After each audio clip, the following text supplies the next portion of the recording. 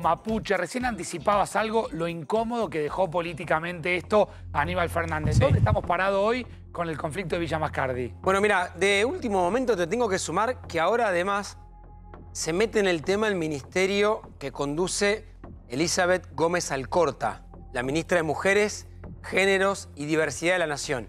Y acá vas a empezar a tener un problema ministerial, interministerial, perdón. ¿Por qué? Hubo detenciones, ¿te acordás ayer? Allanamientos, te lo mostrábamos aquí en Equipo de Noticias.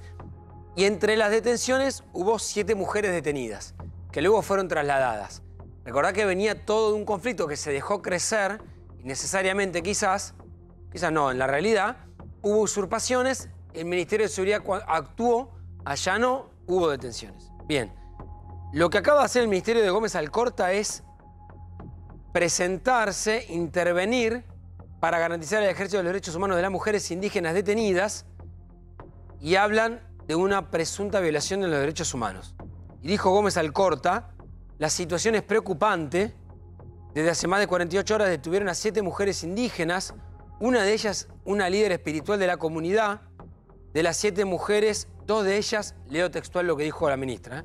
dos de ellas estaban con sus niñes, muy chiquitos, de un mes y de cuatro, otra estaba embarazada de 40 semanas y algunos con temas de presión alta. Bueno, lo que empieza a suceder ahora... Pero esas mujeres, Ramón, por ejemplo, están sindicadas de algún hecho violento o formaban parte de una comunidad que fue desalojada. Porque acá hay que, diferenciar mapuches o pseudo mapuches violentos de aquellos que, Digo, muchas veces nosotros desde acá hablamos del conflicto mapuche digamos, sin conocer el contexto. El 95% de las veces. Sin conocer la historia. el martes tomé un café con un funcionario de la localidad, que bastante eh, fuera de la grieta, porque tiene el problema ahí, me decía... Hay alguien fuera de la grieta. Claro, dice, el problema que tenemos en, la zona es que está el conflicto ancestral eh, mapuche originario. Bien. Por otro lado hay una situación social desbordante, pobreza, crisis social, etcétera.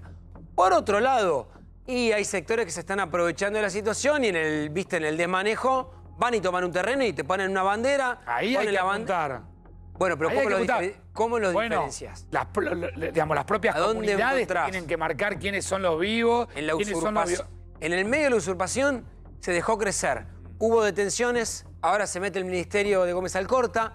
Me imagino que Aníbal Farán debe estar pensando, bueno, ¿y ahora qué hago? Conflicto interministerial y un Estado Nacional que actuó tarde, pero actuó de esta manera. Bien, gracias Ramón.